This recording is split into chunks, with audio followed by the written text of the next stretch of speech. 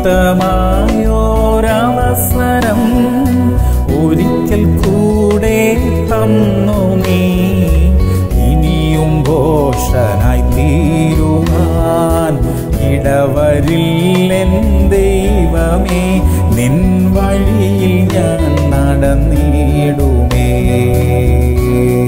ഉൽപ്പത്തി രണ്ട് ഒൻപത്.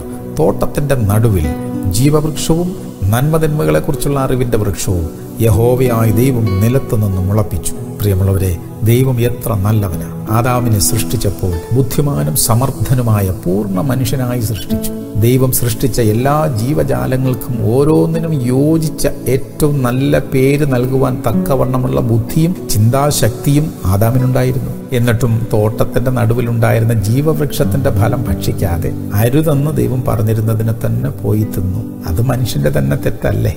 എന്നാൽ ദൈവം കരുണയുള്ളവനാണ് ഇനിയും ഒരവസരം കൂടെ ദൈവം നമുക്ക് തന്നിരിക്കുകയാണ്. അന്ന് നഷ്ടമായ ജീവവൃക്ഷത്തിന്റെ ഫലം ഭക്ഷിക്കാനും നിത്യകാലം ജീവിക്കാനും ഉള്ള തെരഞ്ഞെടുപ്പിന്റെ ഒരു അവസാന അവസരം കൂടെ ദൈവം നമ്മുടെ മുമ്പിൽ വെച്ചിട്ടുണ്ട്. വെളിപ്പാട് രണ്ട് ഏഴ്. ജയിക്കുന്നവന് ഞാൻ ദൈവത്തിന്റെ പരദീസയിലുള്ള ജീവവൃക്ഷത്തിന്റെ ഫലം തിന്മാൻ കൊടുക്കും. പ്രിയമുള്ളവരെ വീണ്ടും ഇത് മനുഷ്യന്റെ അതായത് നമ്മുടെ തന്നെ തിരഞ്ഞെടുപ്പാണ്. തർക്കിച്ചും വാദിച്ചും ഒന്നും നമ്മുടെ സമയം കളയല്ലേ? അരുതെന്ന് പറഞ്ഞതിനെ തന്നെ പിന്നെയും പിന്നെയും ചെയ്ത് പാപത്തിൽ ജീവിക്കാൻ ഇടവരല്ലേ? എന്ത് വില കൊടുക്കേണ്ടി വന്നാലും സ്വർഗരാജ്യത്തിലെത്തുവാനുള്ള ജീവന്റെ വഴി എനിക്ക് മതി എന്ന് തീരുമാനിക്കുന്നതല്ലേ നമുക്ക് നല്ലത്?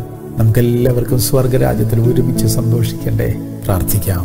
ഞങ്ങളുടെ പ്രിയ കർത്താവേ സ്വർഗത്തിലെ നിത്യജീവിതം ഞങ്ങൾക്ക് വേണം. ജീവവൃക്ഷത്തിന്റെ ഫലം ഞങ്ങൾക്ക് വേണം. ഞങ്ങൾ ആ നല്ല വഴി ശരിയായ വഴി തന്നെ തിരഞ്ഞെടുക്കുകയാണ് കർത്താവേ. യേശു നാമത്തിൽ തന്നെ. അമേൻ അമേൻ അമേൻ